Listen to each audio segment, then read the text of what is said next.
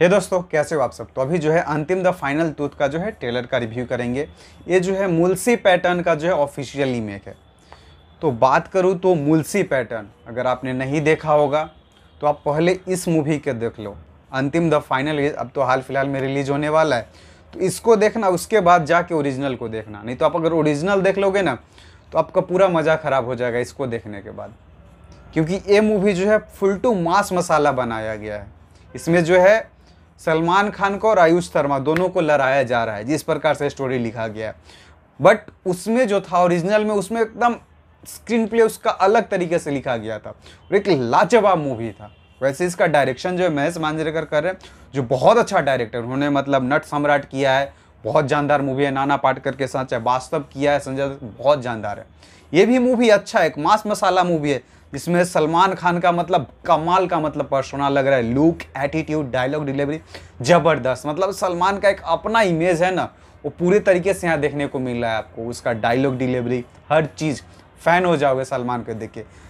चाहे जो उसका बॉडी दिखा रहा है इस बार, पिछला बार तो कुछ और दिखा दिया था राधे में। तो इसमें सलमान का मतलब एवरीथिंग गुड लग रहा है यार। डायरेक्शन महेश मांजरेकर का मेरे को बहुत अच्छा लग रहा है। जब मास मसाला मूवी उन्हें बहुत अच्छा इसको डायरेक्ट किया है। इसका निगेटिव बोलूँ तो मेरे को निगेटिव लग रहा है आयुष शर्मा का। जो राहुल का कैरेक्टर निभा रहे हैं, अगर आपने मूलसी पैटर्न देख लिया ना तो बोलोगे क्या कर रहा है आयुष शर्मा? इसको हटाओ यहाँ से, निकालो मूवी आधा काट के उसको साइड कर दो। मतलब कुछ है ही नहीं भाई।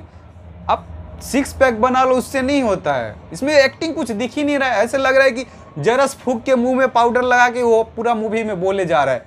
हंस रहा है, फिर भी वैसे सेम मतलब तरीके से डायलॉग डिलीवरी कर रहा है। चाहे गुस्सा में है, फिर भी चाहे हंस रहा है, तब भी चाहे लड़की को जो लाइन मार रहा है डायलॉग बोलने जा रहा है, वहाँ पर भी सेम मतलब डायलॉग डिलीवरी है। तो एक्टिंग तो उसका मेरे को कंपेयर टू जो मुंशी पैटर्न का जो राहुल का रोल किया था, उस बंदा का मेरे को नाम याद नहीं है। अब जाके देख सकते हो जी फाइव पे मूवी अवेलेबल है, बहुत जानदार था उसका एक्टिंग मतलब कमाल का था यार थ्रू आउट द मूवी और इसमें आयुष शर्मा ऐसे लग रहा है भाई, मेरे को लग रहा है कि इसको लिया ही क्यों है? ओ सॉरी सलमान खान का जीजा है, सलमान खान इसको फ़ेमस करना चाहता है ना हीरो बनाना चाहता है, इसलिए लिया है। मैं कुछ भी बोल रहा हूँ।